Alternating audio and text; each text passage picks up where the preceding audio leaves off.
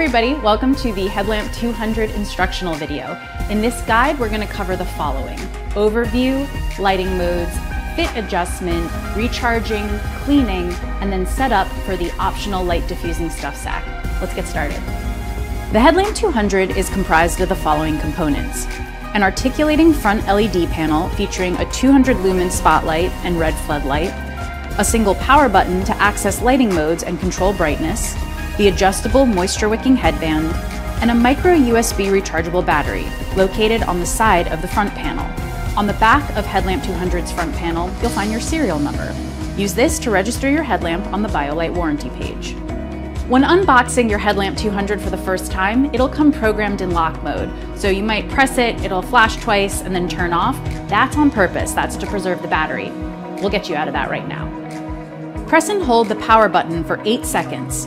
The spotlight will flash white one time and you can now access all modes. The lighting modes rotate through the following sequence. Red flood, white spot, red strobe, white strobe, and off. To access your desired mode, click the power button in half second increments until you reach your setting. Here it is in real time so you can get the rhythm. One, two, three, four, off. One more time. One, two, three, off. If you wait too long in between clicks, your headlamp 200 may turn off. No problem. Just click it back on and press to your desired mode. Your headlamp comes programmed with memory, meaning it will turn on to its last remembered setting.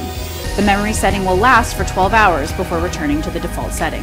When in white spot or red flood, you can dim the headlamp by pressing and holding. When it blinks, it's as low as it can go.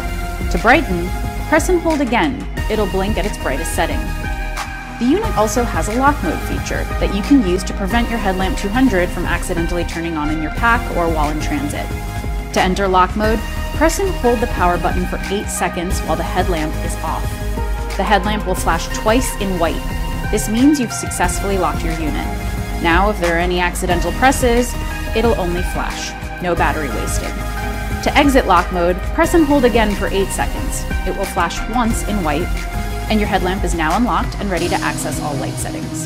The Headlamp 200 fits kids and adults alike thanks to the Easy Adjust band. For a comfortable and high performance fit, place the headlamp on your head and then you're going to use the two adjustment clips in unison.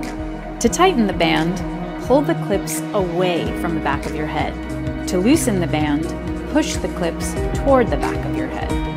It's important to use the clips in unison to keep your headband balanced, so try to avoid just pulling on one side. To adjust the direction of your light, you can move the LED panel up and down easily with one hand. Using the traction from the rubber power button, guide the front panel downward.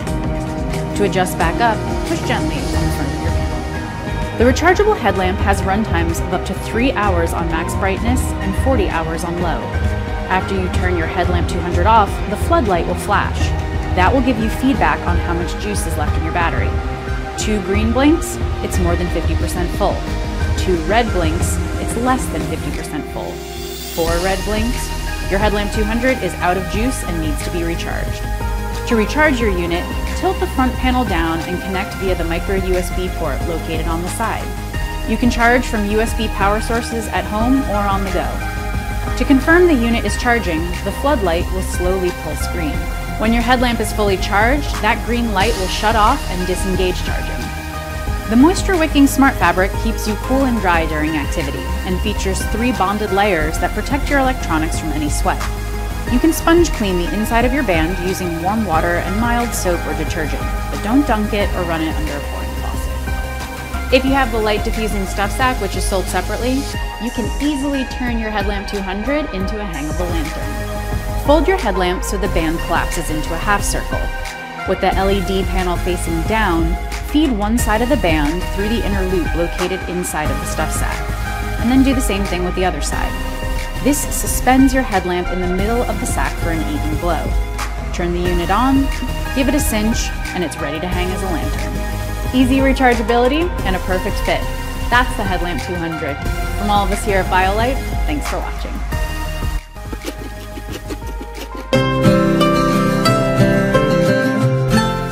We're looking at the new HC65 headlamp from Nitecore in today's video.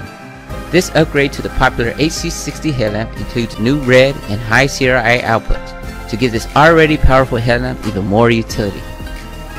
A primary Cree XM-L2 U2 LED produces a 1000 lumen beam with 120 yards of throw, useful for everything from cycling and caving to setting up camp and more.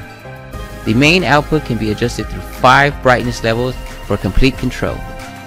For up close work and reading, switch to the secondary high CRI output, which offers up to 26 lumens of warm, sunlight-like light. If you're trying to preserve your night vision or signal to others, use the secondary 11 lumen red output. This mode is also useful for hunting as the red light is invisible to many predators' eyes. The HC65 is controlled entirely via a conveniently located dual switch. Similar to camera shutter, the button will react differently depending on how hard it is pressed. To turn on the headlamp to the previously used mode, press the button completely. Once the light is on, press the button halfway to cycle through ultra low, low, mid, high, and turbo. To turn the headlamp off, press the button completely again. The HC65 will memorize the mode you were in for the next time. To access the high CRI output, half press the button for a half a second. To exit, press the button again. Either half press or full press will work. Finally, the red LED is accessed by pressing and holding the button completely for about a half a second. Exit the red LED the same way as the high CRI with either a full or half press on the button. There are also three special modes accessible when either the main or high CRI light is turned on. Simply press and hold the button for about a half a second and the light will enter strobe. Tap the button halfway to cycle through SOS and beacon. Press and hold the switch to exit special modes. Here's a look at the beam shots for the HC65, including all 5 primary brightnesses, the high CRI output, and red output. The HC65 runs on a single 18650 battery which is included in the package.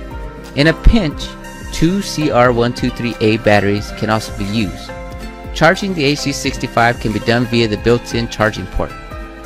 To access, first unscrew the cap covering the USB port located near the power switch. Next, plug the included USB cable into any available power source and the light will begin to charge.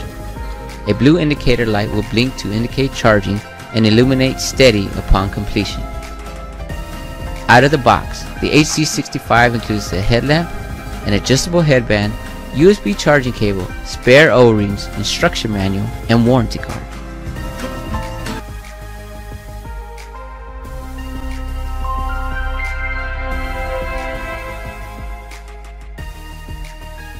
Hi, my name is Jeff Evans with Streamlight. I'm here today to present to you the 3 AAA HAZ-LO Trident headlamp.